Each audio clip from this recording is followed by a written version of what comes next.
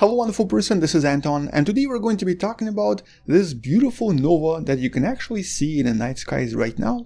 Because the astronomers recently confirmed that the recurrent nova known as RS of Ophiuchi has once again exploded and produced enough light to be visible from planet Earth. Something that it's actually done previously many many times. So let's talk a little bit more about what's happening, where to find it, and also how to actually see it in the night skies. First, let's start with the theory the recurrent nova. And obviously a quick clarification, this is not a supernova. The star itself is not exploding. Something else around the star is exploding, producing light. And in this case, the name nova comes from the early astronomers that actually noticed something unusual in the night skies, a visiting star. A star that appeared out of nowhere and would then disappear after some time. And so they refer to these unusual events as nova. The original astronomer that came up with this name, Tycho Brahe, was actually looking at this, and this was a supernova. But back then, the idea of nova and supernova were more or less interchangeable. They refer to these unusual stars appearing in the night skies. And so the names themselves are not actually very good at explaining what's going on inside those star systems. A supernova usually means a star exploded and very likely produced some sort of a neutron star, a black hole, or disappeared completely. That's exactly what Brahe saw back in 1572. But we knew for decades now that something entirely different happens in these nova. Nova, first of all, are less powerful, and they usually do not destroy the star. Actually, we don't know of any that destroy the star. But they're still extremely bright and visible from very far away. Here's how they usually work. There's a larger star known as the donor star and a white dwarf. They're usually close together. As the white dwarf siphons off all of the hydrogen from the donor star, it starts forming the accretion disk around itself. Now obviously we don't know what it looks like, but the artistic representation sort of shows it like this. Now sometimes this goes on for many many years, thousands and millions of years. And in that time white dwarf starts to accumulate a lot of mass around itself. And if the white dwarf keeps growing in mass and becoming bigger and bigger, it will eventually explode as a type 1 supernova. But before the supernova occurs, a lot of other miniature explosions start happening for another reason, at least around some star systems. All of this happens in the accretion disk itself. With the accretion disk accumulating so much mass and creating so much dense material, that at some point the pressure and temperature inside of this disk becomes so great that it actually starts a nuclear reaction. And because the material being siphoned off is hydrogen, this becomes a hydrogen bomb. Usually all of this occurs around the temperature of about 10 million Kelvin which ends up producing an explosion large enough for a lot of telescopes to witness it and to analyze the details. But that's a regular nova. Today we're talking about something known as a recurrent nova, a nova that keeps repeating over and over and over again, essentially restarting every time enough mass accumulates in the accretion disk. And here it's a star binary known as RS Ophiuchi, located in the constellation of Ophiuchus.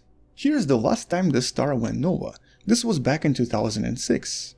And this particular recurrent nova is probably the most well known, simply because it's done it so many times. Also because as you can see from this image, it's relatively regular, on average happening every 15 or so years. But also because of the other 10 recurrent nova we know of in the Milky Way galaxy, this one essentially is the easiest to catch and easiest to see.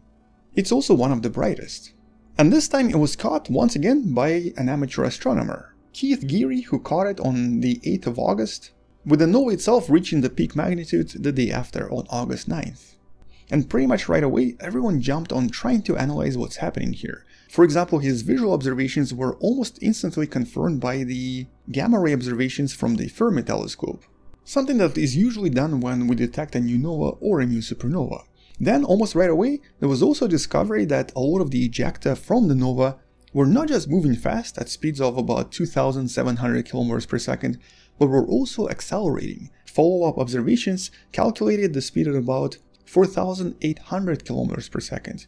But a lot of the material is being thrown off, being hydrogen, oxygen, magnesium, but for the most part, iron. There's a lot of iron that was created after this nuclear explosion. But because this event is 4500 light years away from us, it's still not really that bright. It still looks like a typical, somewhat dim star. In other words, don't expect to see something like this. If you are going to look for this and if you're going to try to find it, you're going to see something that resembles this right here. This is an actual photo taken a few days ago. Something that's going to last for probably a few weeks, but something that's going to disappear for another 15 to maybe 20, maybe 25 years. But because this particular explosion seems to be a lot brighter than usual, as a matter of fact 7 magnitudes brighter, this recurrent nova right here at the moment is one of the rarest events you can witness in the night skies.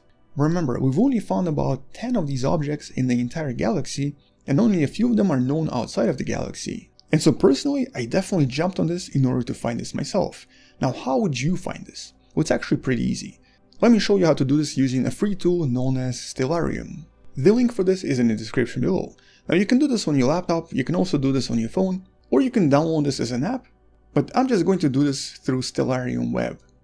But no matter what you do, you're going to see something that looks like this. Here, once you choose your location, you can sort of see everything around you and even zoom in and see some of the coolest objects you would never see otherwise.